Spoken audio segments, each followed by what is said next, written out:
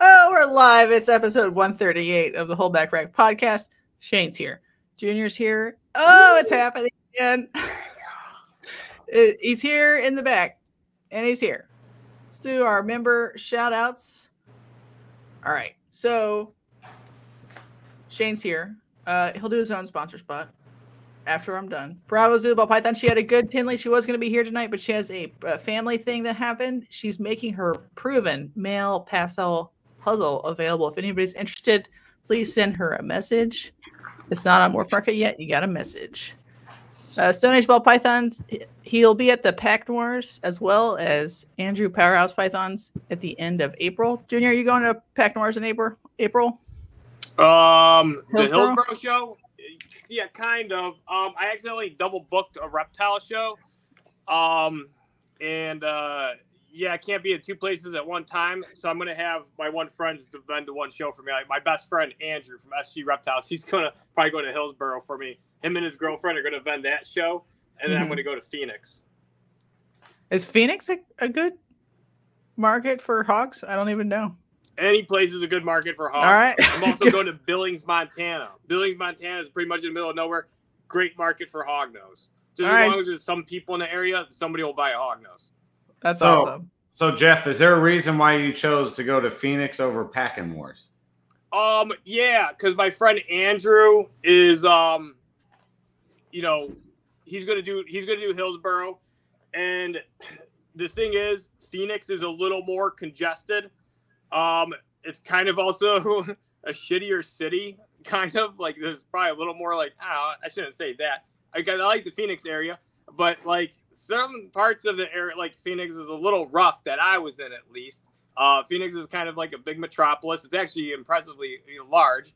Um, it's also really hot, and it's gonna be very hot there in April. So you know, and if the show is like a little smaller, and the aisleways are a little more congested, so it's actually a little more uncomfortable show to do. And there's more people there, I feel like, and Hillsborough is a more laid back show. So I'd rather take the show that's going to be a little, you know, not as comfortable and give him the comfortable show. If I had to choose the uh, the- an enjoyable show, I would have went to Hillsborough, but I'm going to go Phoenix. Mhm. All right. Anywhere out west where it's hot, you're gonna have uh, shady characters. Let's- let's- and I can say that because I'm from there. So you know, Yeah. Not- yeah. Yeah, it's kind of like it's kind of like Vegas that area. It's a little bit like Vegas. Mhm. All right, a couple more sponsor spots. Gray Family Snakes. They have two clutches in the incubator and a few more gravid girls, so check them out for all of your BPI, DG, Xanthic, Pied, ball python needs. And Chris at Beginners Reptilia. He's got Longicauda, Gravid, Costa Rican, I think we're Gravid, and probably a million Pituophis. Probably some ball pythons too, but they're boring. Um, Chris, BNS Reptilia, thank you for sponsoring. All right, let's get into it. Whew. So, what was the vibe check of Tinley? I heard it was like pretty, pretty good vibes. Well, either of you can start. What do you think, Shane? Uh, the vibe over there where I was at was great, man. I had uh, a lot of people coming to talk and look around, and overall, I, I had a sense of happiness, and everyone Mhm. seemed excited. Yeah, yeah. It's a, is uh, one quite. Where is Dave? Wasn't Dave supposed to be here? His- His stomach hurts. I heard. Come on, there ain't no fucking way. this guy was supposed to like. Remember the last time I was here? That's what I'm glad Shane even said. He goes, "What's going on with that podcast you and Dave were doing?" I was like, you know, I can sometimes I fall behind on certain stuff I want to do, but like, I was like, come on, Dave. And did you call Dave a fizzle at the show? You called Yeah. him a fizzle? Yeah. Good. Yeah. Yeah, he's trying to get as many people as possible. I mean, I kind of dropped the ball. I meant to get more people to go up to him and call him a fizzle. So then he'll probably, so then just get his brain thing like, why everybody keep calling me a fizzle? Because that's like not a typical, um, like, uh, thing to be thrown out. Yeah, it's not an Yeah. insult, not a common insult. And it's kind of what it's a, it's a perplexing insult because it's like, is it even insulting? It's like, what the hell does it even mean? But yeah, so anyway, um, maybe that podcast will happen one day. But he can't make it to this one. He didn't even have to do anything. He just had to get on his phone, and you can do it. It's like my stomach could be so. I haven't slept in 25 hours. I'm all. I, I feel all fucked up. I was about Damn. to do. I was. I, I actually had to stop a, uh, a shipment because I was like pretty much done with it, and the guy's like, "Oh man," he's like, "I can't get the PayPal working. Can you send an invoice?" I'm like, how is that going to help? So I say that send a PayPal invoice, and he goes, man, something's wrong with my PayPal, and it's a leopard gecko deal. So I should have known I was fucked right when it was a leopard gecko deal, and so I was like, screw this. I was like, and my mom's helping me. She's my mom works for me. She knows I'm in a bad mood today. I'm doing taxes and shit, so I'm getting fucked everywhere. I was like, just take these other two hog nose up. I was like, fuck the leopard geckos. I'm gonna have to unpack them now. So. Oh man. so, so you went through all that, and Dave. I guess he was sick or something this morning, and I'm like, okay, I just wanted No, him to like not. hang out. Okay. He's not sick. I, I think he sent me a fucking thing on Facebook of like those fucking sawfish all sick in Florida, unless that's what he's trying to convey. That's how sick he is. But he's sending me stuff on Facebook. He can just go like this with his phone. I've seen Dave in all kinds of dire situations. There's something else. He's he's he's fizzling out again. I don't know. What the, it's fucking crazy. All right, well, maybe he'll show up since he heard you you fizzling him all over the internet just now. Yeah, maybe he's watching. If he's watching, is like all you gotta do is click StreamYard in your fucking link, and then you're there. Yeah, it's pretty easy. Yeah, I wanted to wear your shirt, by the way, Shane, but I can't find it now. It's somewhere because I was almost running late. I'm going through all my boxes, and I'm like, not this. I was like, the leopard gecko shipment, this. So now I'm wearing just this Chevrolet shirt that I got for three bucks at Kohl's.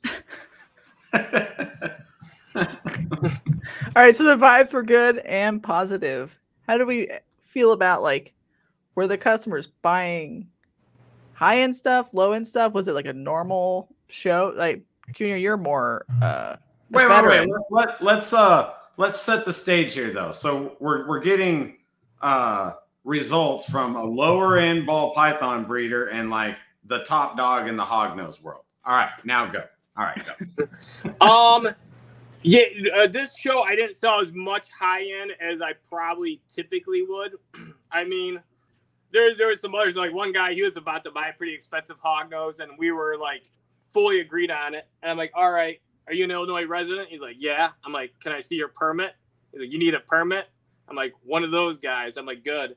And but now he actually contacted me. He's getting the permit. I turned away so many. This, this is the most people I've ever turned away at a show because they had expired permits. And then the one hmm. guy zoomed in on it, and he's like, "Here's my permit." And I knew right away. I'm like, he kind of zoomed it, so it's kind of out of the corner. So I take his phone and I expand it. I'm like, it expired last year. And so that made it a little tough by me doing things legitimately because I'm paranoid the DNR they're watching you because they do that shit. So uh, anyway, um, the sales were pretty good, but you know I didn't sell as much high end. Um, but you know, a lot of times that stuff's pre-ordered. Uh, you know, sales were still pretty good. I thought they were kind of slow, but then I added everything up, and I'm like, oh, this is actually a good Tinley.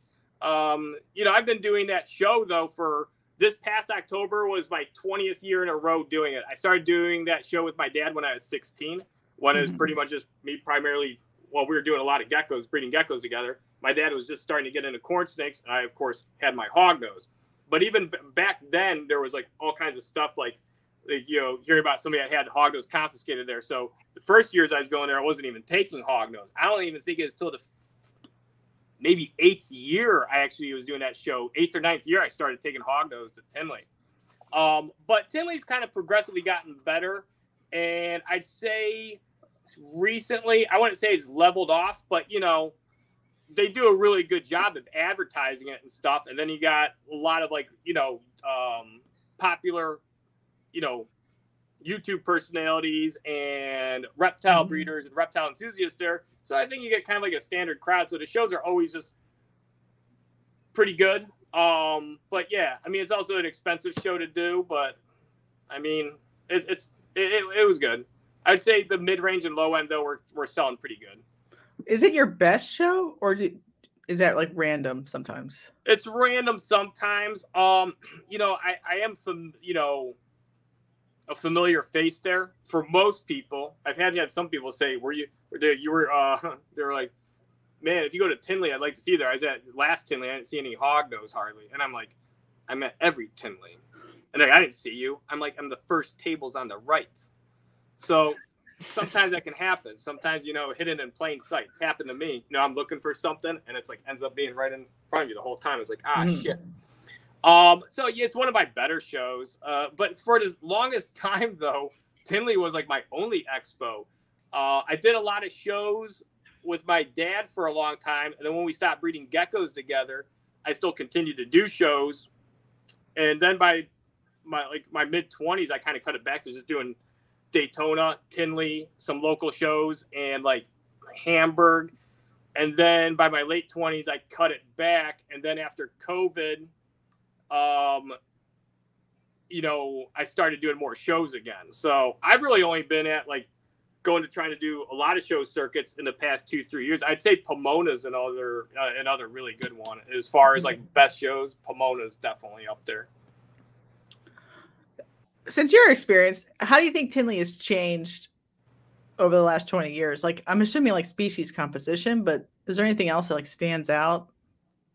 Uh yeah, a lot. Um, they kept expanding it as much as they could because they had wall dividers up, and they'd probably they'd run out probably the other part of the you know they'd make um their own like it's not like customized, but it kind of is you know because they have you could see where there's these um it looks like big accordion walls that pull out, and um so the shows weren't as big, and then for the first like ten years they didn't have a March show; it was only October. Mm-hmm. And they started doing March. And I remember we actually got front tables at March too. And funny story on how we got those front tables. Um, my dad just was like, let's ask for them, basically. Well, he pretty much did at that point because, you know, I was more uh, not like assertive, being like a 16 year old or 15 year old at the time, or, you know, asking for tables and shit. So, anyway, um, the first March show we did, we were kind of like right at the front too. And I remember so many people walked in and they were like, what? They're like, this show's, uh, because the show was half the size, but you couldn't tell until you walked in really. Cause, uh, the March show at first, um, it was like, I don't know. I'd say it's at least half the size. Um, maybe even been one third the size. Um, and it was just like more of like block shaped and uh, you know, as the ball kept, you know, going with Tinley and Tinley being known as like the expo to go to, and then kind of at some point replacing Daytona, um, in, in a sense as the, you know, biggest, you know, reptile. Hold on, reject that call.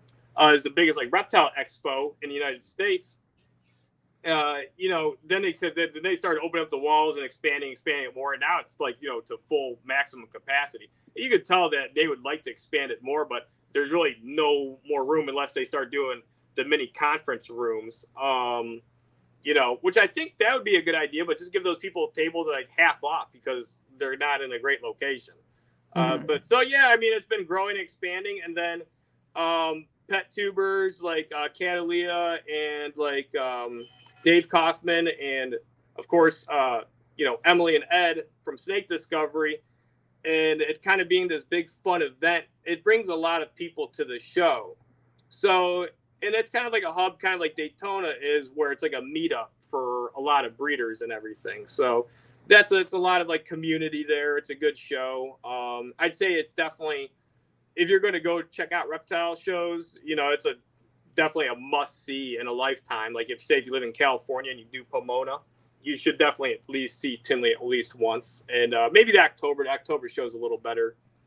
So, so even my sales are better in October. October gets more people. It's because I think it's because it's the original, you know, date. Although I don't, maybe it doesn't have anything to do with it because it's been so long. Who the fuck even really remembers?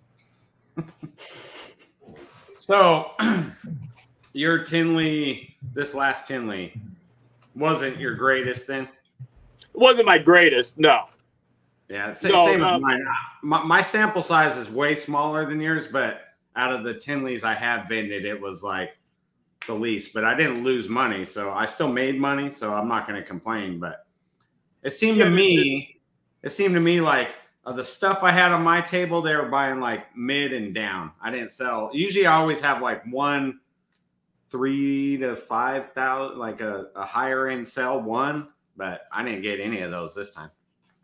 Yeah, But there's a gazillion ball pythons. So That is true. There is a lot of that. Um, yeah, I didn't sell because normally I, I sell some pretty high end hognose too. This time around, I I didn't. But the one thing is, a lot of people like if they wanted it, they you know you can buy it online, and that's where a lot of these higher end sales kind of you know sometimes occur. But you know, I took some Lucy's out, and um, you know for people to see, and I, I did sell a pair of Het Lucy's.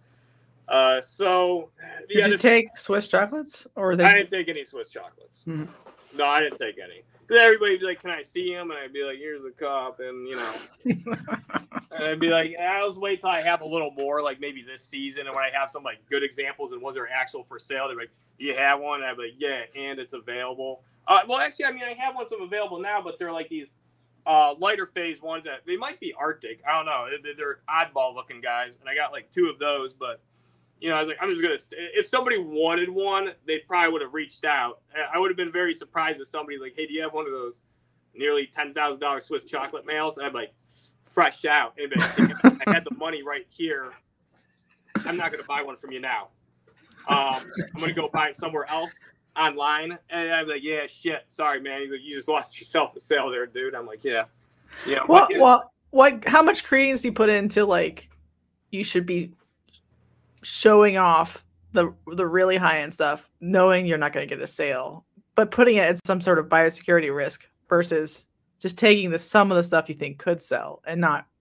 yeah. Where do uh, you well- fall in that debate? Yeah, I mean, like if somebody really wants to hold snakes, like they have to, you know, wear gloves. Um, there were like, you know, like when I went to Puyallup, uh, I had this big purple extreme red albino male. That's a really, really nice um, snake. He's just a really big dude. I don't really handle him that much, but he's just a hog nose. Um, this is a good hog nose, so he handles very well. And so I took him to the show, and I was handling him. Um, and I really, really wouldn't let anybody else handle him, but um, you know, I'd have people wear gloves when handling him, but I was handling him with like out gloves. You know, just as long as you wash your hands really, really well, you know, that's fine. Generally, when I'm working on stuff, though, I'm not gonna do that unless like I'm assist feeding. But then when it comes to reptile shows, like if I'm like washing my hands a lot and stuff, like yeah, I'll you know maybe like I'll pick out a couple of hog nose, um, like for a video or stuff. 'cause I did a video with um, Chad Brown and um, but yeah, like there, I bring a box of gloves with me. So if somebody's like, "Hey, can I hold this snake?" Um, you know, I, I'll let them. Luckily, most people are pretty okay and understanding why the glove procedure is necessary. And then a lot of people are too. Like I always ask, "Have you been handling other animals today?" And they're like, "Yeah." That guy's held some hognose at that person's booth, and I'm like, they've held other colubrids. I'm like, yeah, I don't really want you to even touch my stuff. And when I get back home from shows, this is what I do. So I use one hand. We open up. Usually, sometimes I'll have Leslie help me. I'll open up the cup, and then that hand I take this hand and I grab the snake and I put it in the enclosure. So my left hand's for touching it outside the cups because other people are touching outside the cups. But the likelihood of anything getting transmitted that way, even if they were handling something that was sick, is extremely low. It has a hard time, um, you know, going from surface to surface. Uh, when I did leopard geckos, I'd have people, you know, wash their hands with rubbing alcohol, which doesn't kill Cryptosporidiosis. Um, Mhm. You know, osis and Cryptosporidium doesn't like rubbing alcohol, but it certainly isn't going to kill it. And anyway, I let probably hundreds of people handle leopard geckos, and they'd go back into a particular rack, and none of those animals ever got sick. So to the, you'd almost have to purposely do it. Somebody'd have to be handling like a really sick gecko. But although I did see some geckos at that show um, that had cryptosis, you could tell in their tail because they had that little withered look, and you could tell it wasn't from dehydration. You could tell Mhm. it was, um, you know, sometimes you can't tell by physically looking at them. Sometimes you know you can. So Yeah, I mean it's still scary. Worth using gloves because it's yes, cheap to use gloves. Sure. I Do you- just, I just spray everyone's hands down with 13% uh, peroxide. And if you can handle this, then you can handle my snake. All right. Yeah, that'd be good. That would, uh, yeah, their fi- their hands would turn nice and white. They'd be very prickly feeling for a while. Ron St. Pierre, uh, Lisa says that Ron St. Pierre said it was his fifth best show. That's a very specific number. Um, Yeah, he must have a ledger or something because that's right. specific. What was he selling though this time? Anoles or emeralds or or what? Did you get to like walk around and see other vendors? Did you think someone's display was cool or any sort of highlights you want to mention? Yeah, House of Spoods. Um, she was actually on the other side of me, but she has all these like really intricate, customized um, little enclosures for jumping spiders, and I don't know how many variations she has. Some of them almost look like little McDonald's toys. There's like purple pumpkins, and like there's so many I can't even remember them all. There's like skulls and like uh, there's like everything, and it looked really nice. And so I even told her, I was, like, if I had to pick somebody best at show, you know, with just the overall display, because she had all of her plants and everything looked really, really nice. I was like, you would win. And she's like, oh, it's just a woman's touch and everything. And so her display, I'm not even into spiders. Like, you know, at least uh, if all this, I don't like spiders. Jumping spiders, I'm fine with. Um, scorpions, I'm fine with too. Those are like the only arachnids. Tarantulas, I don't really like. Um, and any spider that looks like a wolf spider, I hate that thing. Um, but jumping spiders are fine. And so, her, yeah, her stuff was beautiful. Um, I didn't get to walk the entire show, but yeah, there's a there's a, a lot of really nice displays there and a lot of good breeders at this show. That's good. Shane, is there anybody you thought uh, stood out? Uh, I didn't get to walk around that much. Uh, kind of like what Jeff said. I mean, House of Spood, and I mean, well, like here's my philosophy. People, when when you're especially in ball pythons, people buy from the person because there's like a gazillion of them there. So when I step away, in my mind, I'm losing the sale. So I don't want to step away too much. So. Yeah, it is busy. What about Shane? Is there any notable people that stuck out that had the worst setup and everything looked terrible? Who was the worst? uh, I mean, that's the good thing about Tinley. Everyone's pretty like legit there, man. Yeah, it's mostly legit. Yeah, there's not too much. Although it's supposed to be captive born, and every now and then, like I seen those like uh, I know the genus names are Gonocephalus. They're those like Indonesian like water dragons. I forget what the common name is. I was like, those aren't captive born. But you know, yeah, for the most part, most of the stuff there is good. It's a good show. Mm-hmm. Yeah, Glades Vins, uh, Dallas. That's not with all with all their captive born animals that they produce. Yeah. Nice. nice. That, so that's really cool. All right, this well, is wait, wait, wait, wait. While we're talking about displays, I'm now part of the crew, Jessica. So, anyways, uh, mm-hmm. so while we're talking about displays, so I noticed a big difference from like say ball pythons to hognose. So like with ball python guys, it's all like in our head, like we got to have these displays and stuff. But like with hognose, everyone's like running deli cups. Why is what what what in your opinion? Why is that difference? Like what what's the difference there? Um, yeah, I think it's kind of like a cooler bird thing. Um, sort of. Uh, there are some hognose people, you know, with displays, or they do the cup displays, and it's probably because the hognose fits in a cup really well and then you can like take more animals to display in you know a smaller area. And like you know if the hog hognose is comfortable in an eight ounce cup that's really really good. Um so i don't have any I, I, tried for like the past like ye- well i haven't tried that hard. That's the problem. To get you know those displays the clear ones that open up and then you mm-hmm. have the mm-hmm. cups in there it's all lit up.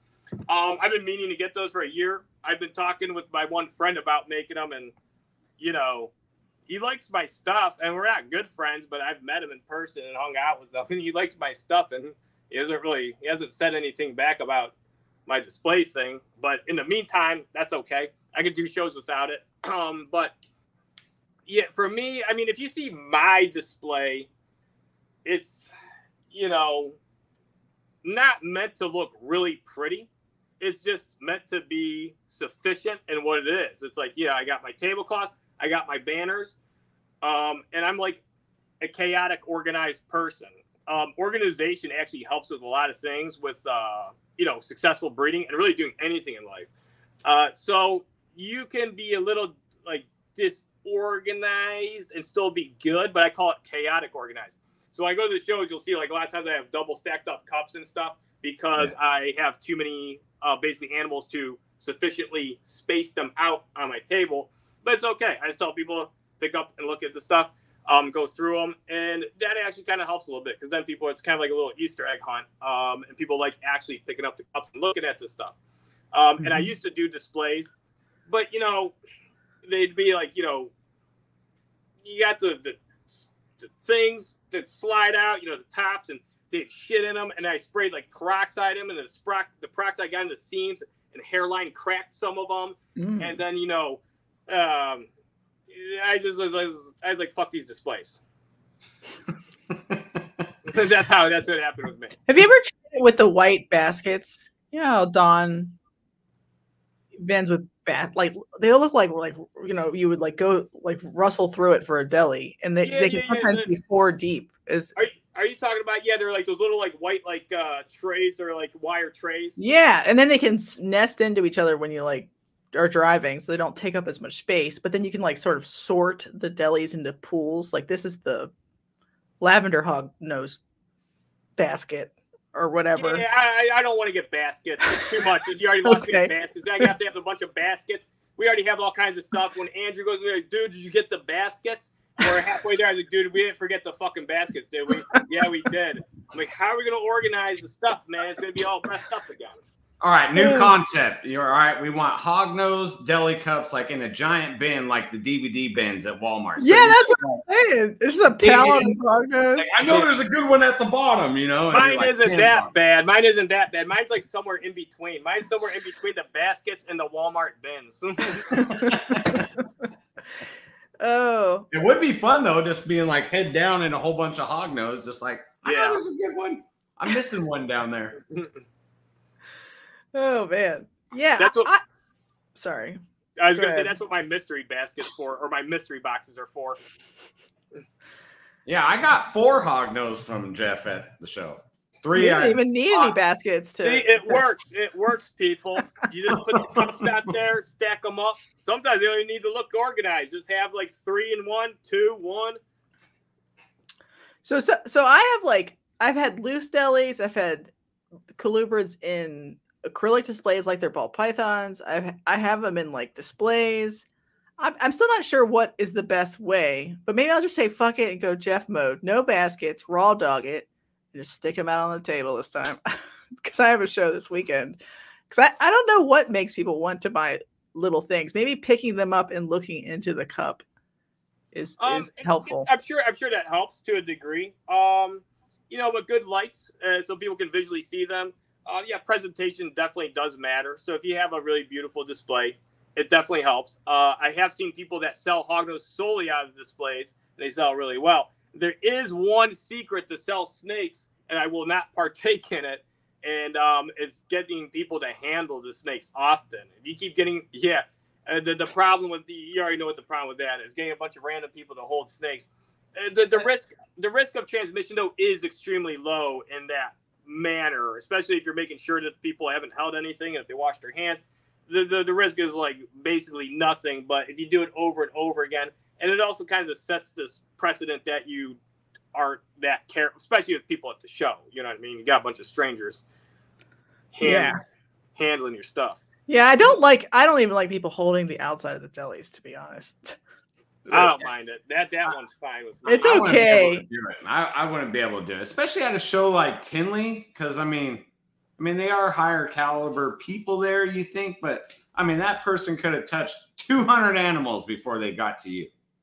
True, true. Yeah, that's why I'm careful with touching the outside of my cups and when I'm, I, when I, you know, unpacking animals and everything. And if anybody like um, touches anything in a weird manner or um, like we keep an eye on the table. That's why I like to have friends with me there because it's like keep an eye on everything. Every now and then I've had people just open up a cup and touch something. It's pretty rare, but then I just give that animal a check mark. And um, usually it's one uh, if I can, I'll just wholesale it then. I'll go in a wholesale group, um, or I just set it in my like. Uh, uh, I got like um in between quarantine. It's like extremely low risk, and it's like not stuff I've bought from other people. Like stuff I buy from other people, that's always like really high level. That stuff is like to me is like extremely dangerous. Um, but so anyway, yeah, there's definitely concerns because like the funny thing is people are getting more aware of that stuff because um I forget what it was. If it was, um, I think it was a monitor, and they said there that somebody was bitching. Like, they're like, you know, about like 200 people handled this thing, and they, they're like, nobody cares about biosecurity or quarantine anymore. Now, the one thing I will say on the monitor person's behalf, I'm not an expert in Varanid, but my little knowledge on them and my um, assumption on them, of from what I know, would be they can't really get sick unless it's like a husbandry thing. Like monitors are pretty much impervious. Like they can have worms and everything, and as long as they're healthy or, or kept well and they don't get run down, these things seem to be bulletproof to anything. I might be wrong. I don't know. But as far as I know, that these those like because like I know like Komodo dragons and stuff, which are varanid, are like like they are trying to make uh, serum from their blood because their blood has like capabilities much like crocodilians, where they don't get infections and their blood can actually destroy mm-hmm. things like hepatitis and HIV. So I, I, think monitors, like I don't, I've never heard of monitors breaking out with cryptosis or coccidia or anything like that. But I could be wrong. Things can always jump hosts. Um, I would need a varanid person or at least several varanid people to like, you know, say that sounds right. It could be like the carrier though. They like, could, yeah, they could possibly carry stuff like bearded dragons are like, you know, uh, big time carriers. Like they have the adenovirus a lot, coccidia. They can have cryptosis. Uh, then a lot of times they have roundworm. Uh, bearded dragons out of anything. If somebody's like has like a disease vector species, those ones spook me the most. Um, bearded mm-hmm. dragons are always kind of nasty. Yeah, it's it's hard because I, I always want it shows to be cooler than they are, but to me, it probably isn't that nice to be like going around manhandling any animal 200 times by biosecurity or not. I don't know. It's just it's it was too a much. big monitor, so yeah, I imagine it was it's probably hard. But yeah, I know what you mean. Like it's been out for a long time. You know, it's kind of like we had the, the you know Steve Ainsley brought out a big beaded lizard, and it was like really calm. And you know he's 19 years old, and so that was the one that I had at the one show, and I put it on my go kart temporarily. And but you know by the end of the day, it's like yeah, it's like let's not just keep handling this thing. This thing's been out for hours, and uh, mm-hmm. even though mm-hmm. it's pretty relaxed, it, the the the one show is out for like eight hours, and near the end it started huffing a bit. So it's like, yeah, it's like it's it was out too long, maybe. What what's right. your take on? I don't know. I'm not really calling this person out. I I could I don't even know the name, but like there was a a person just like walking by with a big old retic I'm not really concerned about the retic, but I'm like, God, what if that thing like mites are falling off of it or something, man? And yeah. like the head's kind of coming close to my table, and I'm like, Yeah, yeah. What's this I, guy doing, man? You know? Yeah, I've I've had people do that, and I like I'm like, hey, can you back up with like that ball python that you're tr- like hovering by my table and stuff? Because yeah, uh, especially like I, would say mites are more prevalent in the python and boa community than uh, yeah. probably any other you know community. Mm-hmm. Do you treat prophylactic like just to be clear, permethrin is toxic to hognose, everybody. don't don't treat your hognose with permethrin. But do you treat your hognose with anything else prophylactically for external parasites specifically um, to or from a show? The funny thing, not no, not from a show. There's really nothing you could do um, unless you want to get like um, diatomaceous earth or like seven dust has some chemicals in it. It's mostly diatomaceous earth. I do use seven dust to spread around the edges of racks. But you could use diatomaceous earth, but you're gonna have to get like I don't know crazy with it, and it's gonna get like powder all over your shit, and your show cups are like now done. You're gonna have to get new ones for the next show because once that dust gets everywhere, it's like. Mm-hmm. But anyway, uh, uh, from the shows, no, I've never gotten mites from a show. Honestly, I hear that from people. Um, not super often. I really feel like most of these stories they didn't get them from shows. They just blamed the show that you know, and that's the reason why they ended up getting mites. I've never. Oh, I've definitely got mites from shows. You have? yeah. I never have. They ended up in my quarantine, but that was like a set that I didn't treat because it was like early. I don't know. And I was like, oh, thanks. And there was actually like not supposedly it wasn't from the original seller. It, those animals went to a USARK auction table to maybe get auctioned. And then I bought one of them and then took that home and quarantined it. So my stuff didn't get it, but that animal, it had like walk. Uh, well, yeah, that's. I mean, I mean my own animals. The animals I'm like, oh, what are you mean if I buy an animal from a show? Yeah. Oh, that's a, yeah, yeah. If I buy an animal from a show for a hog nose, um, I soak them in water, um, and then I'll use like a lot of times I'll use like mineral oil. Um, the one thing is like permethrin is toxic, but before I knew that, I would use Nix on hognose. I already that's knew, permethrin. Yeah, but it doesn't mess with hognose. Um, I've actually used a lot of Nix on hognose. Never has it ever affected them in any negative way. Um, I actually one hognose because I was young and pretty stupid. I got these new hognose and I put them right in it before not soaking them. And when they came in, the other person they probably hadn't given the snake water for a bit. The snake started chugging the Nix. Oh no! Shit. And it was that hognose was perfectly fine. That snake never had any problems. Is it the Um, concentration in Pam that that does it I, in? I don't know, but the concentration I thought like in, in like the Nix that you always use the shampoo Nix and you dilute it dilute it by one gallon, um, but just a little bit of you know Provent-a-Mite or black knight, even if you use it accurately, just that small amount and you let it air dry overnight. You know, I've seen people do that many times, and the hognose die a lot of times, or they Mhm. end up severely messed up. They're insanely sensitive to it for whatever reason, every time I use Nix, but I still I won't use it now anymore. I'm spooked by it, even though I have used it many times in the past with absolutely no issues. Actually, the only time I had a mite outbreak with Hoggos, I got rid of it with Nix, and I'd use Nix, uh, the you know the shampoo solu- solution in one gallon of water, and um, I would just um, put on latex gloves or nitrile gloves, and I just massage the hog nose to get it in between the scales and go all around it and I just let it air dry. And I do that like once a week, like two, three times, and I washed out every tub and everything, and they never came back ever again. And I did that to a ton of hognose and didn't have one even get neurological issues or die or anything. Um, but yeah, Nix does have permethrin in it. Uh, you know, I, I was talking about it a little bit, and that kind of came up in um, the one podcast I just recently did, and then Bree was in there for Bree Exotics, and she goes, "Well, she thought it may be something to do with more of the other ones being aerosol, but the one thing is like a lot of those, even if you let sit for a day, you know, all that stuff's gone, but it still seems to mess them up. So I don't know why permethrin and Nix is seems to be fine with them versus Mhm. these other products.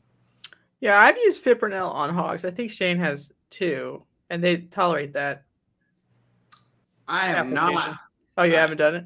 So that was one of my questions since we're on this. So I've had mites twice, and they've only ever affected my pythons, and they never went to my hognose. So I don't They know. if don't they're, like, yeah, they don't like hoggos. I, that's one thing I talked about in another podcast. They will go on hoggos, but they don't like them. And I think it is because uh, um, the hoggos have those really thick keeled scales, and their skin between their scales, I think, is much thicker than the species that they're typically are able to go on. Um, you know, they, they're able to get between, but I think it's just like a thicker skin. There's something about the hoggos they don't like. If they go on the hoggos, they usually go by the ventral because, you know, that uh, skin that's exposed there is a little more vulnerable, or to go to where there's smaller scales on the nape of the neck, and especially around the face or the crooks of the mouth, where they can get easy access to the blood. So they don't, they do not like going on hognose. They will. And I think that's one reason it's a little easier to get rid of mites on hognose. Yeah, the mites, they kind of don't like the hognose. They're not their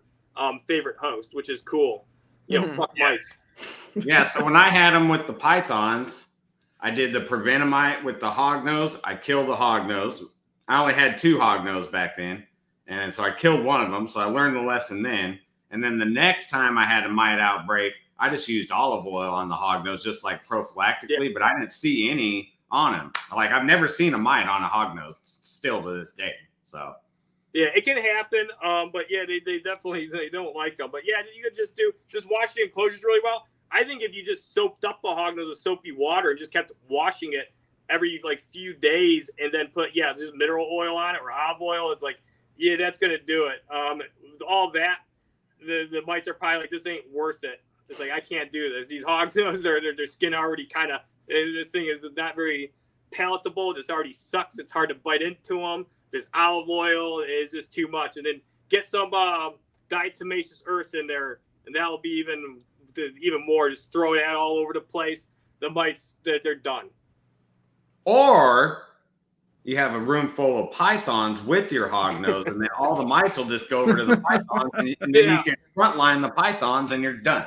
Bam. Yeah, maybe yeah. Just put all the, the pythons the other side, so all the mites will come off your hog. Yeah. Once they're on the hog, I think they might stay. But the funny thing is, like, I did notice that that they really don't like going on them. So I wonder if like there's been enough pe- other people that have like documentation of that to like prove that like, hey, even if if there are a bunch of snakes that they will just prefer to go to those other ones than to go to hognose snakes.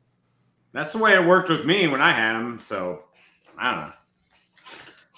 Uh, does Well- anybody?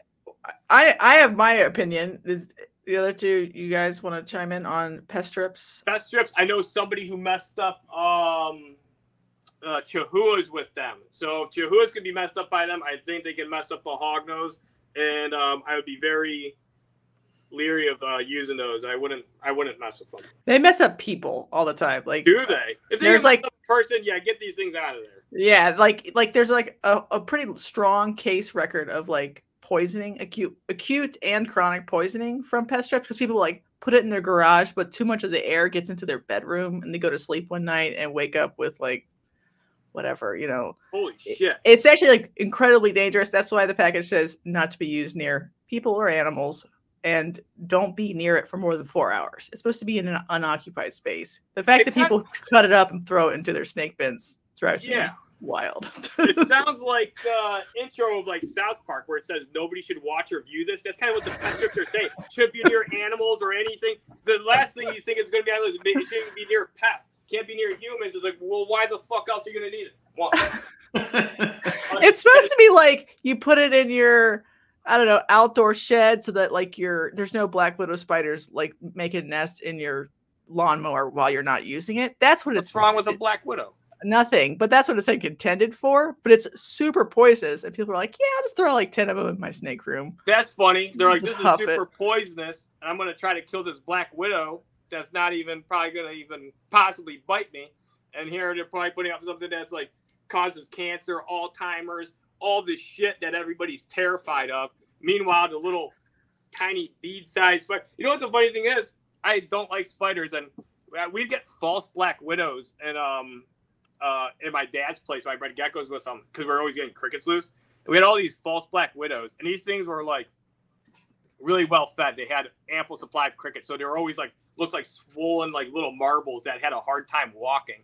And uh, I later found out that those ones are pretty damn venomous, actually. And I'd mess with them sometimes. I'd be, man, look at this pudgy little spider. I'd poke it, and I was like, oh shit, these things were actually. But you know, you, you usually gotta like squeeze them or actually bump into them to get them to bite you. hmm You'll get spider powers next time, I think. So I, I used to kind of use no pet strips like sporadically. I never kept it in my room full time, but then uh, I got wigged out because I didn't want to hurt the hognose since they're sensitive to chemicals. And then when I started keeping a couple tarantulas in here, I was like, but one thing I did notice when I had the no pest strips, I would still get those little cobwebs up in the corner, so something was living in here. There was little tiny spiders that could survive the no pest strip. That's what I do now. That's good. So it wasn't that effective.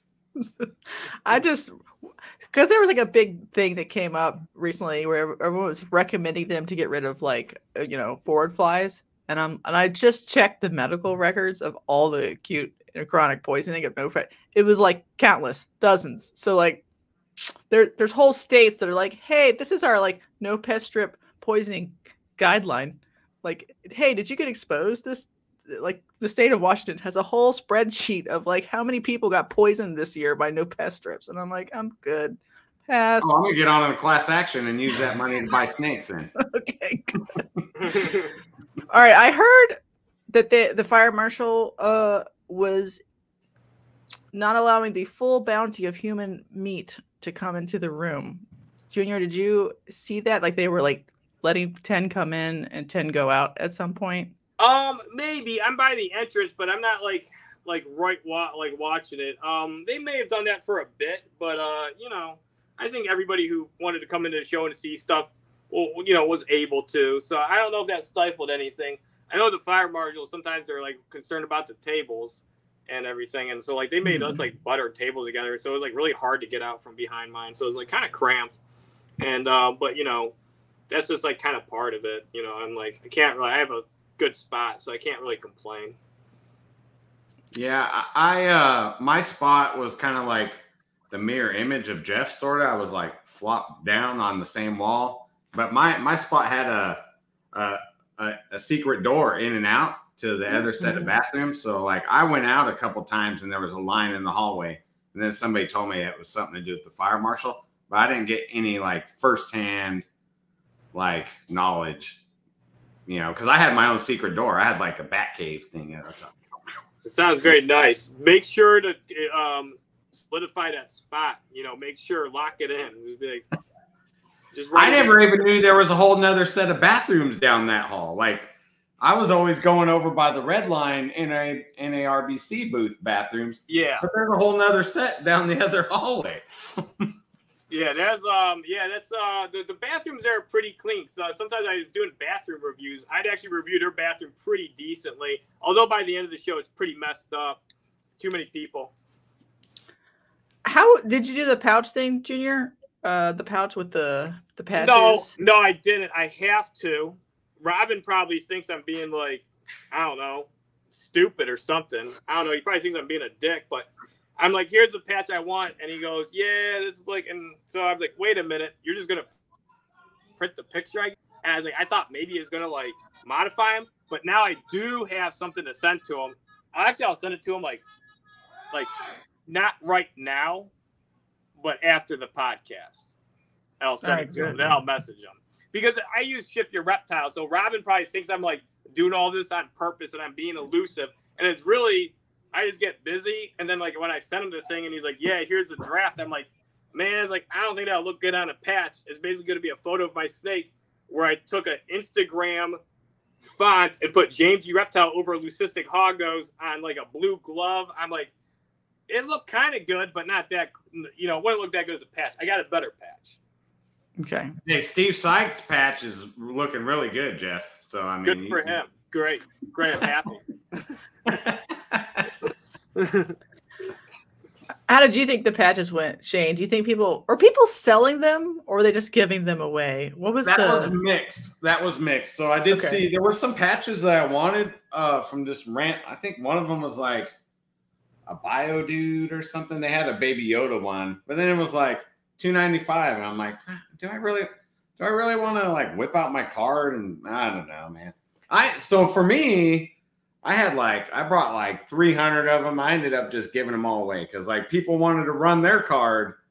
Like, oh, I'll buy it. I'll pay you two bucks, three bucks, whatever. I'm like, I don't want three million charges of two and three dollars either. So I just, I just figured, screw it, man. I just gave them away, and then uh, in the future, it'll probably just be for like people that buy a snake, or then if they want to buy them, maybe I'll charge them. But for the initial run, I just ended up giving them all away. Did you decide if you wanted did you wear a, a fanny pack while you were there? Well, I actually uh, had pre-ordered two, so I have the red and white one because that Oh. matches my colors. Every And time you then, say two, you get balloons. I don't know. And then, uh, and then I had a black one because I ordered the black one before that. Luckily, I did because I felt like a woman on Sunday. I was like, man, this red and white one It's fine. Women are awesome. It's fine, you know. So yeah, the red and white doesn't match my kilt and my green shirt and all the stuff I was wearing on Sunday. So I had to switch over to the black one. And then I had to change all the stuff over to the black one. And I'm like, God, I feel like such a girl right now. You know, like I make sure I put my tampons in the in the fanny bag, you know, like God, but it uh, worked out because I was I was able to match on all the days. So it worked out. No offense to girls that use tampons either. Or pads. Yeah, pads. you need I'm to not sometimes. Well, those fanny packs are really good. They they hold all kinds of stuff. So you got room for that and patches. hmm Yeah, yeah, yeah. It, no, it, it did come in handy though. So, like I'll, that's where I'll be using it at is at shows. So it holds like you know your change thing and you know like your change money and well, it just holds all the things. Phone charger, blah blah blah. Yeah, I always thought they were a good idea. Yeah. But here's the good thing. So there was people that came up wearing like some other kind of sling bag things, EDC type people, and they're like, "Man, I'm really happy that you guys are doing this. I've been wearing this sling bag for years. Now I got stuff I can stick on it because they'd already had the Velcro stuff on there. So, Mhm. boom.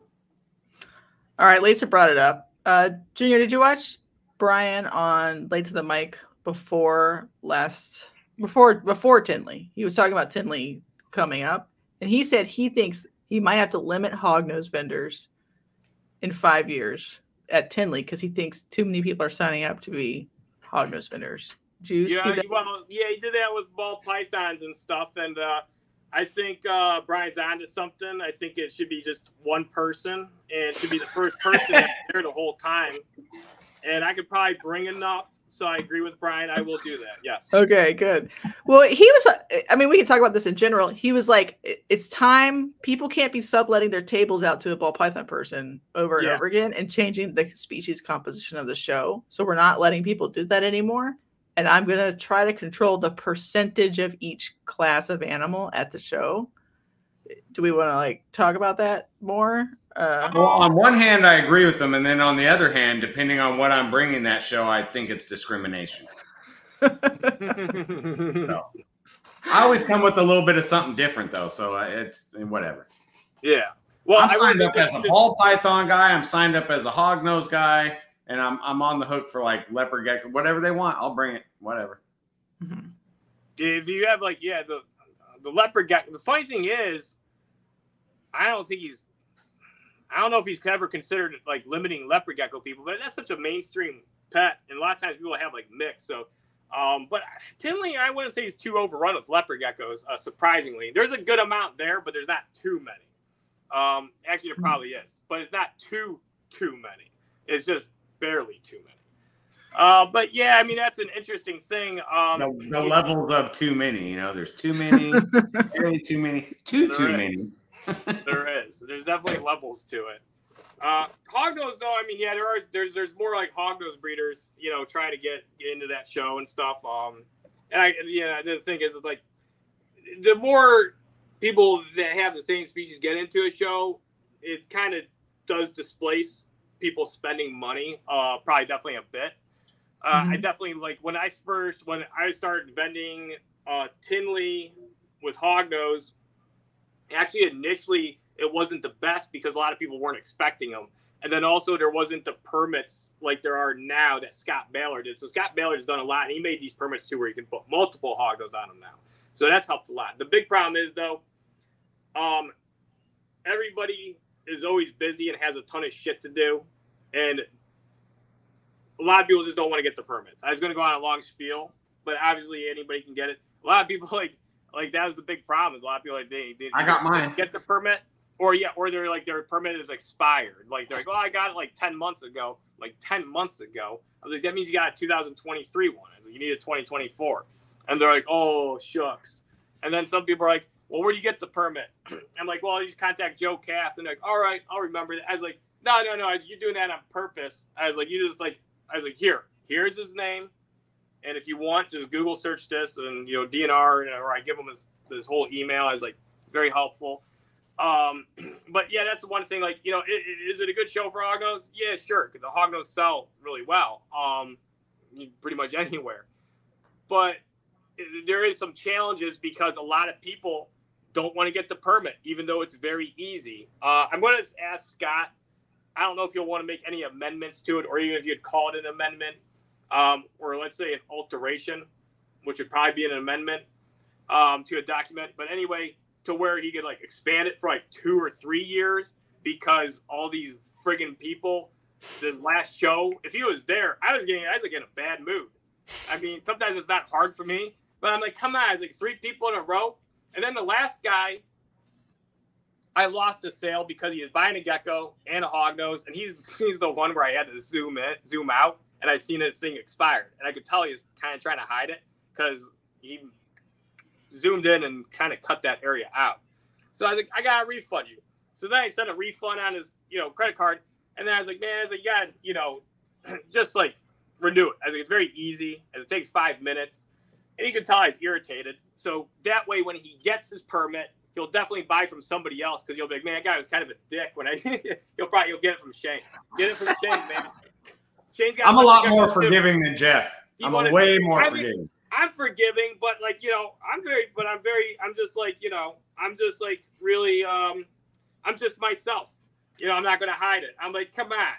I'm like the third person. I'm like, look at this guy. I was like, everybody's like, was like, we need to get to like, we need to find a way to get these people to just like submit Would the it- permits. Would a big show in another state do better that has no like could the new hognose mecca be like the Georgia Reptile Nation or something? Like no permits, nobody gives a fuck, blast Bob him out Vu, the door. Bob Vu is actually talking about. I don't know if I'm allowed to talk about it. I already did, just kind of now. Um, but he's, I guess, putting on a big show um, towards the end of this year, and uh, it's going to be in Georgia. And he actually has already invited me. He's like, because I told him that he had a ball python. It's really cool. I was like, that ball python's really cool. He's like, thanks. And he goes, by the way, you got a reptile show. Was like, That's "You're putting on-" cool. Yeah. And so, yeah, it sounds like, and Bob's like um, a very personable, you know, person. And that's like, I like Bob a lot I like his antics and his memes and everything. And so um, I, I think he'll do a good job putting on a show. And so, yeah, Georgia wouldn't be a bad, you know, location. Uh, probably like the Atlanta area because it's not too far from like Nashville.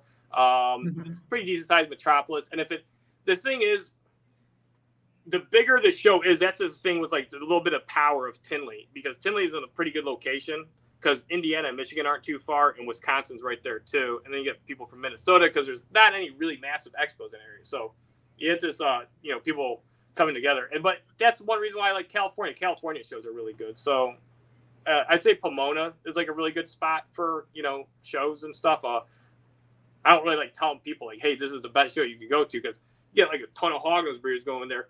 They'll be, oh, I wonder why it's not as good. I'm like, I wonder why 30 of us showed up. I think would- everyone should go to Georgia with their hog nose. I'll be at Tinley though. Okay. All right.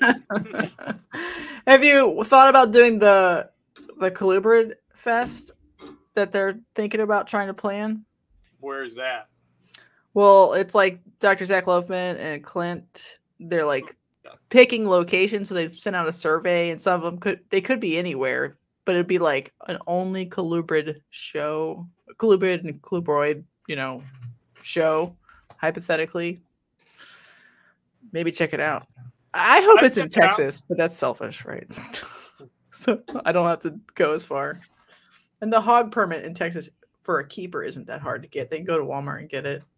Can I be the one ball python guy vending at the Colubrid show? That'd be really cool for They me. should, they You should would- allow at least a few, like, you know, you know, boids in there. I kind of think it's like a little.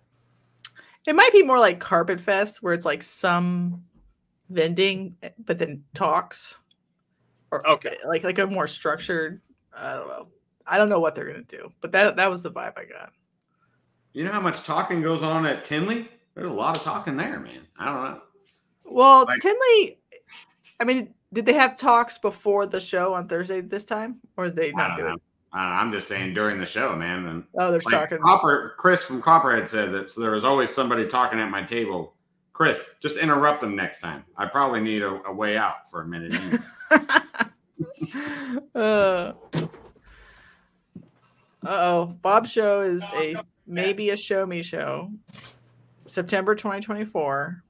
Location to be announced. Leviathan is helping out with digital ads for Bob's show. Oh, cool. Atlanta in September, investing around 50k to promote. Oh Lord. Saturday is educational panels and Sunday is sale day. It's cool. I'm in. I'm into anything that's like trying to make shows, I don't know, elevated in any way you can. like I, I'm doing this isn't a good Hognose show, but I did decide to do the Denver All American Reptile and Plant Show. It just feels like they're trying. You know what I mean? I don't know what it takes, but just try. Try to try to make it good. Promote the crap out of it. Get a big door. Make it worth everybody's time to be there. Even I like somebody who sells corn snakes. That's all I want. Uh fuck. All right. Um Yeah, if the Colubrid Fest is in Texas, that would be fun for me. But who knows? So Tinley was good. I think we all agree it was good.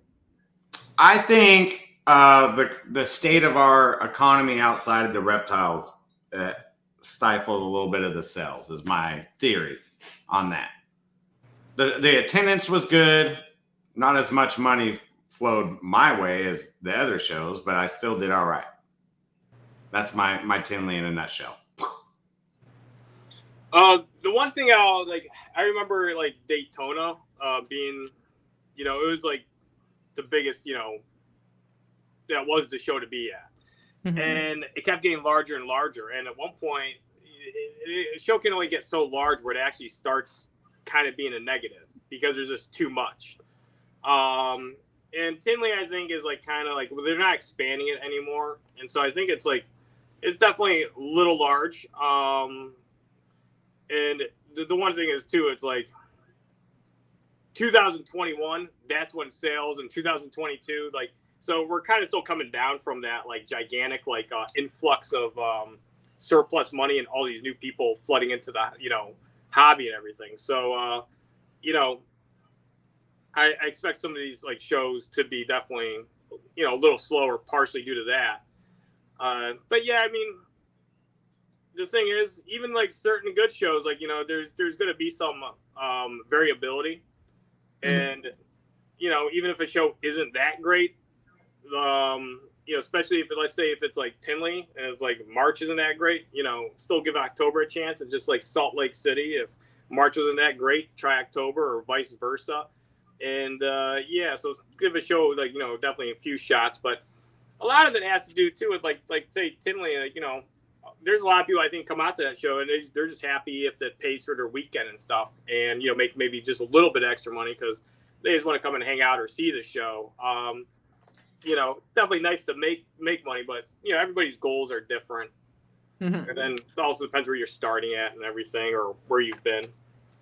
Junior, if you were gonna lose money at any show, which show would it be? Like, like if you if you didn't mind losing money, Tinley, because it's like a I, I could drive I drive to Tinley like a little over five hours. It's a close show for me. so like yeah, when I go to that show and it's like you know for me it's actually a very inexpensive show to do. Um, you'd think it's an expensive one. I mean the tables are expensive, but that's the biggest expense for me. You know the gas isn't that much, and um, you know, hotel rooms. Usually I split them with one of my friends, and uh, you know, because we're we're all hang out in the rooms and play like board games and do shit like that anyway. So yeah, it's like um, you know, very inexpensive show for me to do.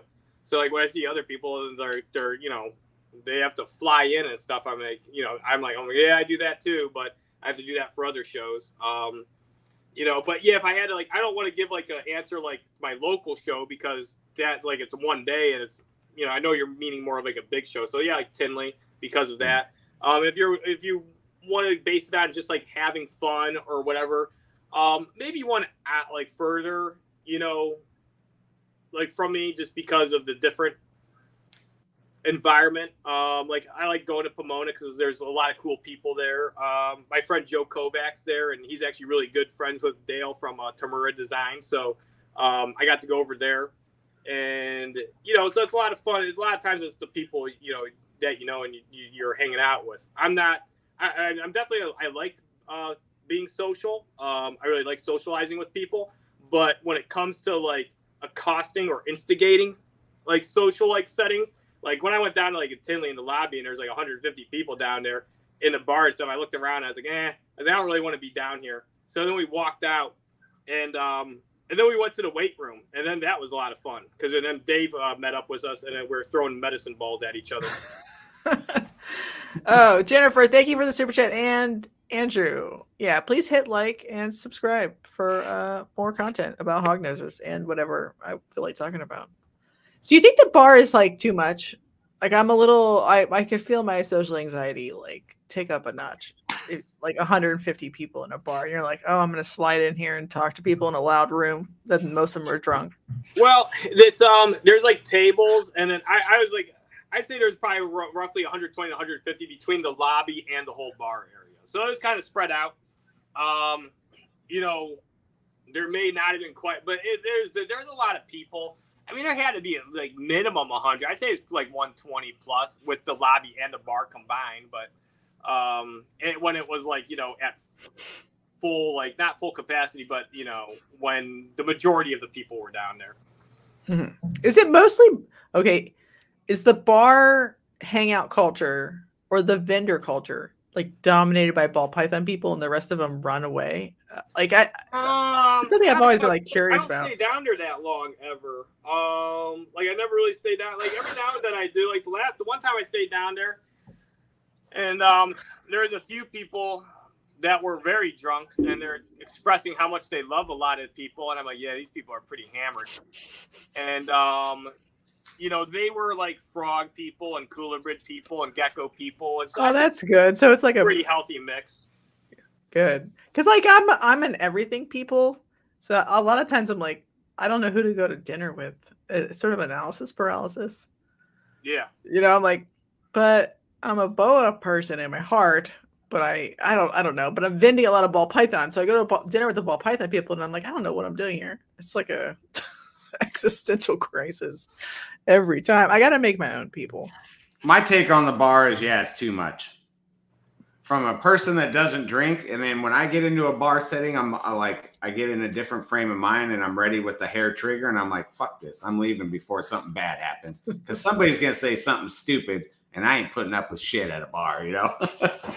right you're really anticipating some very precise um like circumstance there shane yeah. so No, it's not because I don't like ball python people. It's just, I don't know.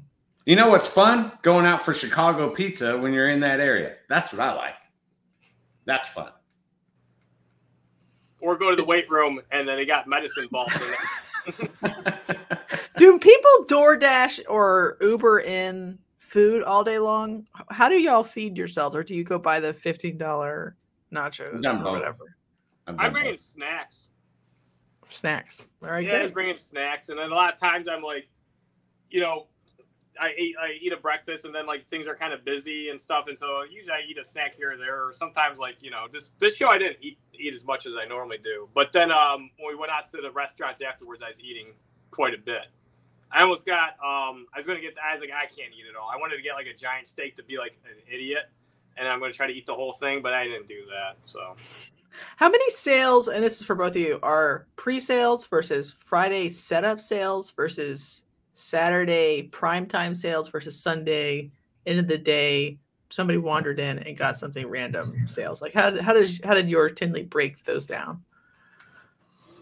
I had Um, I had three pre-sales, but surprisingly, this Tinley, Tinley those pre-sales weren't for people picking them up at Tinley. They actually seen that I was going to Tinley and said they bought them and had me ship them before I took them to Tinley. there was- okay, it That's forced the sale. And then uh, Saturday was was my was my higher end stuff, and then Sunday afternoon was just random people walking by paying with cash for like pet level snakes, and I was like, "Yep, I got more. Come on." And that's how my my Tinley went. I've done a lot of Tinley, so there's usually always um, you know, some Friday sales if you have the animals like set out. Um, you know, and sometimes they're the slow. Just like this show, like I sold only a couple animals on Friday. I mean, Friday for me is like short because like I arrived at like 2 p.m. and I think they closed at like seven or something like that. And you got you know get the tablecloths, you got to get everything else set up. Um, you know, then people want to come over and talk. And uh, pre-sales. This time I had a little more pre-sales, I think, than I normally do actually. And uh, yeah, then like Saturday sales were pretty, you know, steady. They were kind of like you know, I'd say pretty average, uh, a little spaced out. Sunday um, was a little picked up a little more on geckos. Um, and then Sunday, like at the close, yeah, there's a there was um, a few sales made. You know, some people like to be like last minute, and uh, then they're trying to look for a deal, and they're like, "Oh, what do you have that you know is that it's like this or whatever?" And sometimes I deal with those people, sometimes I don't, depending on you know what the context is. Did anybody try to trade you uh, China White for a hognose? Since you China don't White? have. You say China White? What does that mean? So Richard says a vendor offered cocaine to a group of women in exchange for seeing their tatas. He was removed from the bar, thrown out for the show on Sunday morning. So a vendor did it. I was wondering if someone had offered you some cocaine for hognose. Uh, also, So cocaine's also called China White. it's the good stuff. Oh, really? I never heard that. Um, nobody's ever. Sorry. I think people, like, I think people look at me and like, I mean, the one time I was in Vegas, I was offered cocaine, and it was, you know, but I was like, no, and um, no, nobody's really ever offering me drugs too much, like marijuana sometimes. That's the only thing. I, I've never actually seen cocaine at any of these shows. I have seen shrooms before. The one guy's like goes to you, he goes, "You want to take some shrooms?" I was like, "Nah." I was like, "I'll look at them though." And I picked one up. I was like, "Huh, that's interesting looking." I was like, I don't, you know, really need to take anything. Right. It's probably already a lot of stuff going on anyway. There's You already know. enough shit going on. There's already like you know, I, I take all kinds of supplements. Um, Yeah, the shrooms would probably like tear up your your gut even worse. You know. maybe I don't know. I- I'll Uh, take that vendor's booth that got kicked out, though. I'm just putting that out there. Did, did he get kicked out for trying to like for trying? That's what So, Richard said. Like, was he cocaine to see permanently kicked out forever? Richard, type it in. Wait, is that the whole transaction? I'll give you cocaine if you show me your boobs. It's like a pretty lame transaction. Like why don't you just keep your cocaine? Right. It's not like you can't see boobs on the internet, except for in Texas, because they made Pornhub mad. uh, they'll never make Pornhub mad, by the way, because they'll, they'll just leave. They don't give a fuck. Oh, is China white heroin? Sorry, all my drug facts are from Stephen King books, so I could have messed it up. China white, yeah, because that, that sounds like it'd be a, maybe that kind of. I thought it was cocaine. Does it matter? I don't know. Cocaine coming from like South America, you know. Well, I think it's the, the color because it's like the brown if it's not pure, and so the whiter it gets, the Oh, better of a okay, bump you get. I don't Maybe. know. Somebody I- Google search this. the We feds will know. locality information on this cocaine that we're talking. That, yeah, it's going to be a new name for a wharf now. Kevin McCurley will do it because he has all that kind of stuff, like name like that, like China White. Uh, Richard says he believes he was banned for life. So the table's open, Shane. If you want to like dip in there and Man, I need to, I need to do some messaging. do you think something's missing from the show? Either of you, like a, a vendor or a class of animal or something that you're like, damn, why doesn't that show up and sell or whatever? Or do you think it's we're covered? We got the whole hobby. I I'm thinking, Shane, if you want to say something. well, from the limited runs I did away from my table, I really didn't see too many boas. I don't know what your thoughts are on that, Jeff, but like my neighbor right next to me had a couple, and then there was like Vin. I never, I mean, yeah, I didn't. There's a whole bunch of different gecko things everywhere, and then a few hog nose. on that wall that's um you know against like like the, the, the back like where it's like the glass um the glass wall there. Yeah, um or with the windows there the big window frame uh they there was somebody there that had some really nice boas. They had some blood boas that were pretty nice looking. Um so yeah i'm trying to think stuff like i mean there's like knobtails there's leachianus um you know Boelen's pythons that's not something anybody ever has a lot of ever but i have seen Boelens pop up here and there I don't know. It seems like a lot of stuff's pretty covered at Tinley, and that's like kind of one reason why it gets kind of like a reputation of being like a really good show because I mean there is a lot of stuff there. Mm-hmm. I mean it'd be cool if they allowed like heloderma there, but you know you can't have those there. So Do you- I guess like the question is like I don't even know what percent of things there should be. Like if there are three or two boa vendors, maybe that is the correct amount for that show for like the demand.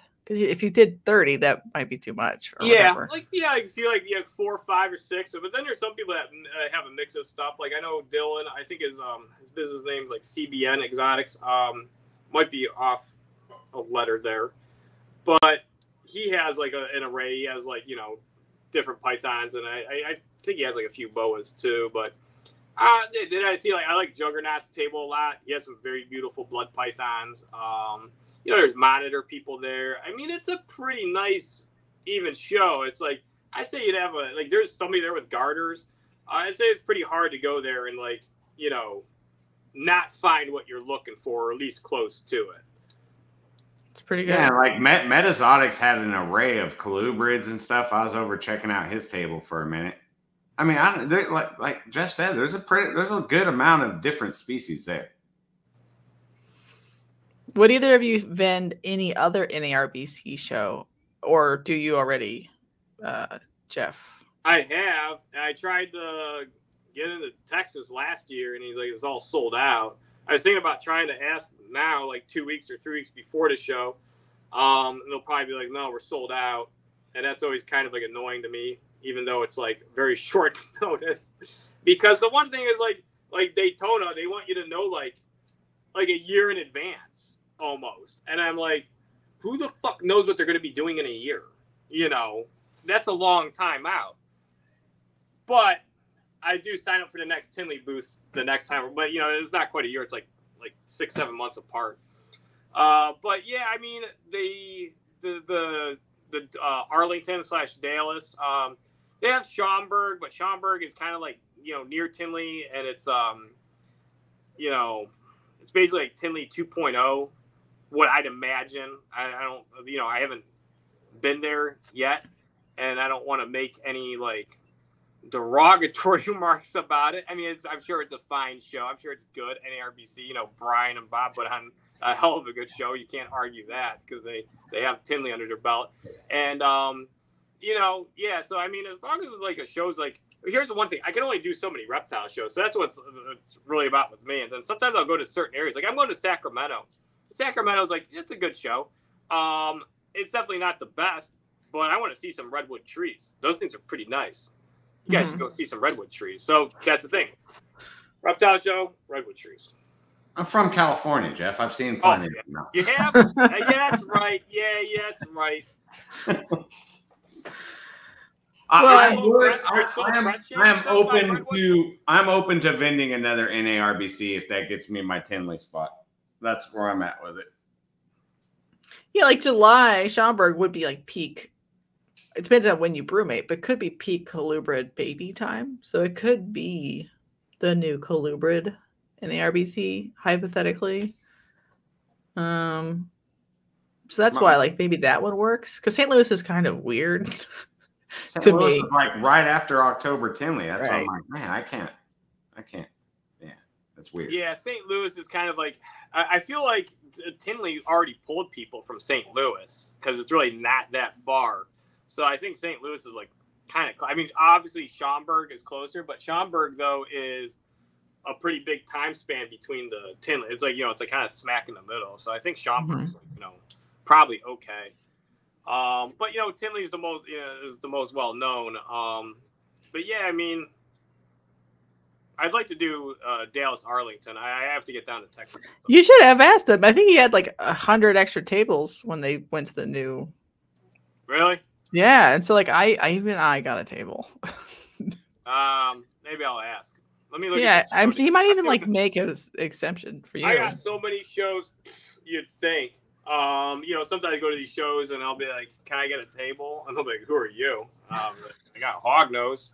I mean, they're kind of cool. Um, but yeah, I got uh, actually I got invited. I the show I'm doing next is uh, Billings, Montana, which is like middle of nowhere, and that was the Big Sky. Yeah, I think so. Yeah, I'm pretty sure. So if yeah, if you live close enough to Billings, um, and you want to see, I'll be there in like what is it, like nine days. Uh, but yeah, I was even. I was talking to the dude that runs it. He was at Tinley, and he's like talking to me, and him and his friend were like, you know, say, hey, we should go out to Billings. I was like, yeah, maybe. Um, I was like, I have to fly there, of course. And they're like, well, if you do, they're like, we'll help you and stuff. And I was like, all right. I was like, let me think about it. I was like, sounds kind of because I, I did that with one show. I can't remember what show, uh, but sometimes I like doing that. Like it'll be like one or two weeks notice, and I'll be like, well, you know, if I cram everything I need to do and get everything, you know, caught up and taken care of, and I like I can do it in this time frame. I kind of like to do those shows. I like to do like little challenges like that. Like actually, when I when I do Phoenix, I was joking with my friends. I like, I really want to fly out of Phoenix Saturday night and have my girlfriend Crystal manage Phoenix Sunday, and so I could be at Hillsboro on Sunday. But that's just kind of stupid, so I'm not going to do it. What's the like rubric? Like, do you need a certain number of people through the door previously, or certain? Not really. Salt population Lake density. Yeah, Salt Lake doesn't really get that many people, and I'll still do it. And I like Guy, the dude that runs it. Him and his wife are very nice, and it's a very, uh, it's a very clean show. Um, Clinton's goes there. Um, there's some actually pretty cool stuff there. I like that venue a lot, and you know sometimes it's not like like even like Sacramento. Um, you know, if I don't make that much, I'm I get to see some redwood trees. So you know, and then Salt Lake, I guess I get to see a salty lake. I actually I've never gone there, but you know, I, I like the area. Salt Lake's really beautiful, just to be because the mountains are like right like butted up against the city. Yeah, so even while you're driving around, you get mountains for fun. You can go to Park City while you're there in Salt Lake. What's there? That's like it's like where you can go like inner tubing in the snow and stuff. It's oh, like a little resort Oh. town. Last time, and I'm going to do it this time. Last time I went to Salt Lake, I went herping with uh, Joel Reed. That was cool. And so we, um, yeah, and so we're going to do that. And he had his cat with him, and his cat would follow us everywhere. And so, yeah, That's we had a good awesome. yeah, and we, you know, we found some, um, man, it was some, uh, I don't, I can't remember what species of skink we were finding. Um, but yeah, we were looking for, um, uh, what's out there. I'm trying to think of that rattlesnake there. Um, they're a bigger species. They're not like southern Pacific. I don't know. I'm not really good with my, you know, Crotalus. So anyway, but you know, sometimes it's just like you know, if you know the right people and stuff like Pomona, I love that because of the people I know in the area.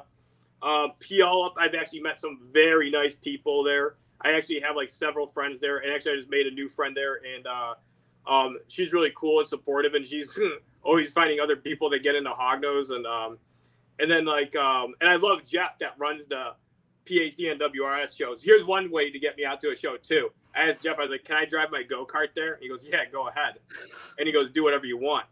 And so that was like, because I always wanted to like, we'd always joke around like like some of these shows like like Daytona when it was like really big, and then at one point where it's kind of like not doing as good, there was enough space. Everybody would say where you could drive a car down the aisleways.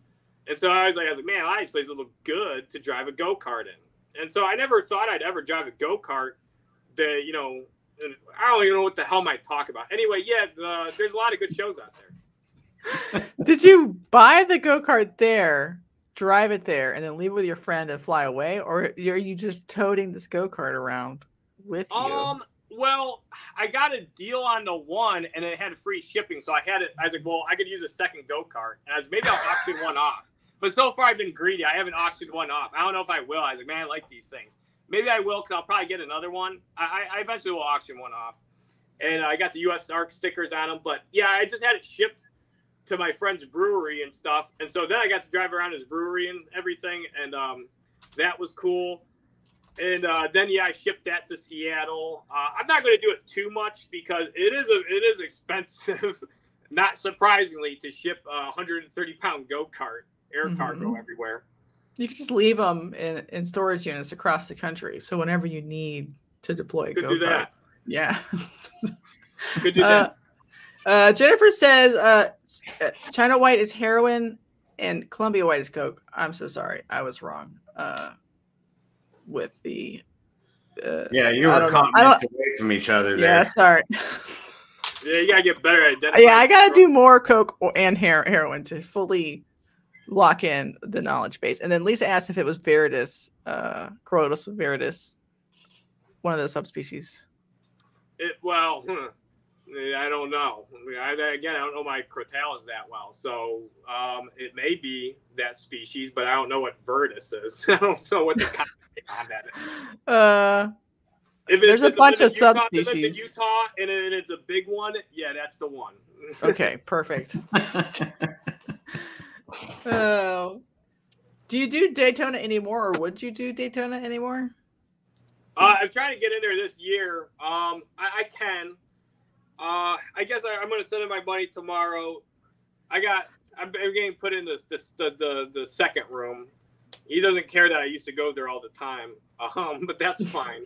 he has his rules. So Wayne still he's a he's a good guy, and he um he puts on a good show, and he's been doing it for a long time. And uh, uh, yeah, I used to do that show. Um, the first time I ever went there, I was 15, but it was just a shop, and I bought some hog. I bought hognose from Craig Trumbauer, um, and I really loved those days because there was a lot of like wild caught and captive hatched, or like first generation from wild caught hognose there, and so you've seen a lot of these little interesting like variations and wild types, and um, you know I kind of missed that part. And uh, but then by the time yeah, by the next year, my dad and I were already vending uh, Daytona, and then uh, my dad and I we stopped like you know breeding geckos together right around when I was like 24, and um, and I still did Daytona up until I was like 30, and I haven't been back. So I haven't been back there in like six years. It'd be interesting to see what it's like. I, I might like visit Daytona. I don't think I ever want to bend. It's really It's good far. hangout area too. I mean, it's like a lot of people go there to hang out, and so that's the thing. So I like, I'm not going to go down there just to hang out. So I like, I'll do both. I'll vend, and if it's like not that great of a show, I don't really care because, you know, tax write off, and then also I get to hang out. What's the new morph? He's doing Reptile Talks and premiering a new morph. Well, that's the whole point of the Reptile Talks is I'm premiering a new morph there. I can't talk about it. I was being facetious. No, tell us about that. And then we'll do like a last thoughts. Wait a second. Wait, wait. Time out. Time out. Jessica talks about going to all these shows all over the United States, but have you heard her mention that she's going to Tinley? No. Why not? You got a beef with Tinley? What's No, going on? I it's a 13 hour drive, so I have to be like, I don't know. That's not bad. 13 hours is okay. Yeah, I can, I, can- I can do it. Like, I, I need a table to want to to vend Tinley because I don't. Besides, like hoarding the Zirkles rat snakes, uh, I don't know what what would be there for me because I need to sell something to make up for like probably two thousand dollars of expense. Is that weird? But Daytona, I could go to the beach. I could go herping way hard, and not even do the show. Just go to the show for a minute and be like, "Bye, I'm gonna leave." Drive down the coast. Go catch berms in the wild and stuff? I I, I just want to see like I don't know, like the phenotype change of like because you can actually road cruise properly in the in Florida on like you know north of the Mason Dixon line because they're out at night, so you can just drive around at night for a week straight and go further and further south. I don't know, doesn't that sound fun? Way more fun than defending a reptile show. It does sound pretty fun. Mm-hmm. I even like picked out my hotel like on the edge of like like like the like a western sub suburb of Miami, like right on the edge of like Alligator Alley and like a swamp. You just get a hotel and you just keep driving every night. Drive for five or six hours wherever. Go down the keys in the middle of the night. And wouldn't that be way more fun? Yeah, I mean, I like the warm weather. I really, I, I like, you know, tropical climates and stuff. So yeah, that's like one thing I really do like going to like Daytona, and you know, eh, you know, you can even fish. Um, yeah, fishing and herping. Mm-hmm.